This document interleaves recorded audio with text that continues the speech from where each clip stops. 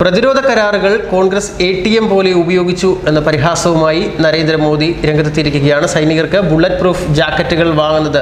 മുൻ സർക്കാർ ആറ് വർഷം വൈകിപ്പിച്ചുവെന്നാണ് നരേന്ദ്രമോദി ഇപ്പോൾ ആരോപണം ഉന്നയിക്കുന്നത്.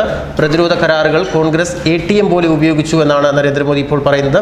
ഹിമാചലിലെ സോലൻ ജില്ലയിലെ പ്രചരണ റാലിയിലാണ് കോൺഗ്രസ് സർക്കാരിനെതിരെ നരേന്ദ്രമോദി ഇത്തരത്തിലൊരു പരിഹാസ രൂപേണയുള്ള വിമർശനം ഉന്നയിച്ചത്.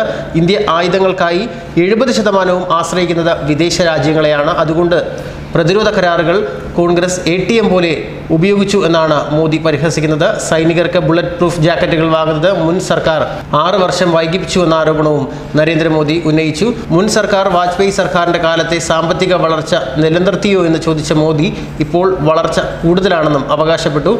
കോൺഗ്രസ് സിഖ് വിരുദ്ധ കലാപത്തിൽ വിവാദ പരാമർശം നടത്തിയ സാം പിത്രോദയ്ക്കെതിരെയും നരേന്ദ്രമോദി വലിയ രീതിയിലുള്ള ഒരു വിമർശനം ഉന്നയിച്ചു. ഭീകരവാദികൾക്കെതിരെ നടപടിയെടുക്കാൻ തിരഞ്ഞെടുപ്പ് കമ്മീഷന്റെ അനുമതി തേടാൻ സൈന്യത്തിന് കാത്തിരിക്കാൻ കഴിയില്ല എന്നും പ്രധാനമന്ത്രി കഴിഞ്ഞ ദിവസം പറഞ്ഞിരുന്നു. ഉത്തർപ്രദേശിലെ തെരഞ്ഞെടുപ്പ് പ്രചരണ റാലിയിൽ സംസാരിക്കവെയായിരുന്നു നരേന്ദ്രമോദി അത്തരത്തിലൊരു പരാമർശം നടത്തിയത്. ജമ്മുകാശ്മീരിലെ ഷോപ്പിയാനിൽ കഴിഞ്ഞ ദിവസമുണ്ടായ ഏറ്റുമുട്ടലിൽ രണ്ട് ഭീകരർ കൊല്ലപ്പെട്ടിരുന്നു. ഈ സാഹചര്യത്തിലായിരുന്നു നരേന്ദ്രമോദി ഇത്തരത്തിലൊരു പ്രസ്താവന നടത്തിയത്.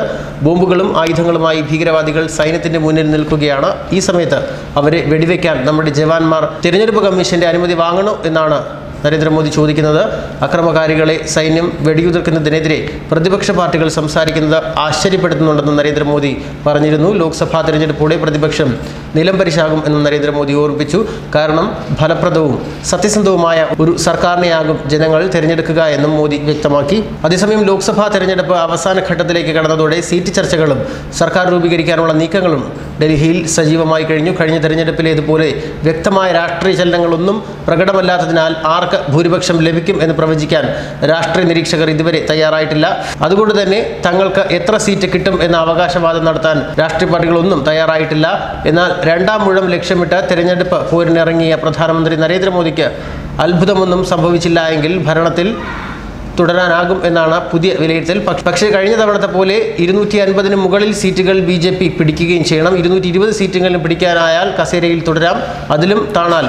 പക്ഷേ പ്രതിപക്ഷ നിരയിലേക്ക് ചേക്കേറാനായിരിക്കും നരേന്ദ്രമോദിയും ബി ജെ പിയുടെയും വിധി എന്നാണ് ഇപ്പോൾ ലഭിക്കുന്ന വിവരം. എന്തായാലും മോദി സർക്കാർ താഴെ ഇറങ്ങണമെങ്കിൽ ഇനി എന്തെങ്കിലും അത്ഭുതം സംഭവിക്കണം. ന്യൂസ് ഡെസ്ക് മലയാളി വാർത്ത.